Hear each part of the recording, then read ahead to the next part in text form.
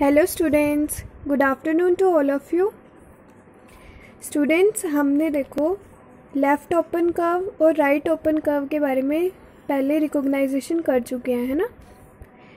हमने right open curve को कैसे ट्रेस करते हैं, ये भी सीखा था, है ना?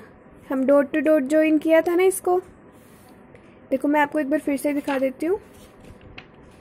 ये था हमारा राइट ओपन कर्व जिसमें हमने इसको टिक भी किया था, है ना?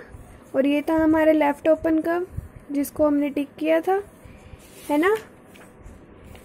और हमने एक और चीज़ एग्ज़ाम्पल लेके डिस्कस की थी, कि अगर हम अपने लेफ़्ट हैंड को ओपन करते हैं तो वो राइट ओपन कर्व बनता है एंड अगर हम अपने राइट हैंड को ओपन करते हैं तो वो लेफ़्ट ओपन कर्व बनता है ना?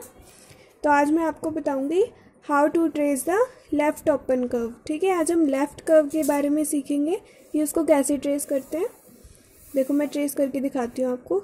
आपको वैसे ही धीरे धीरे ऊपर से नीचे की तरफ़ डॉट टू डॉट ज्वाइन करना है, ठीक है? नेक्स्ट बताती हूँ आपको। देखो,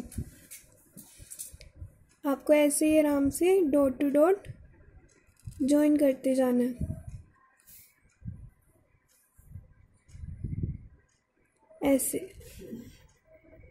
ठीक है बच्चों? आपको ऐसे ही ऊपर से नीचे ट्रेस करना है इसको डॉट टू डॉट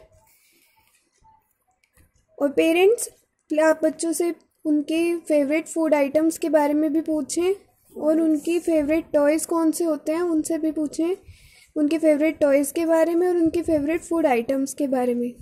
ठीक है बच्चों, आप इसकी प्रैक्टिस करना कि हम कैसे लेफ़्ट ओपन कर्व को ट्रेस करते हैं। ठीक है बच्चों थैंक यू बाय बाय